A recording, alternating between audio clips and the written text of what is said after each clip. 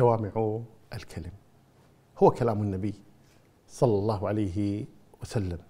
وهذا فضل الله يؤتيه من يشاء. ولقد ميز الله تبارك وتعالى هذا النبي الكريم بأنه أعطاه جوامع الكلم. قال صلوات ربي وسلامه أوتيت جوامع الكلم.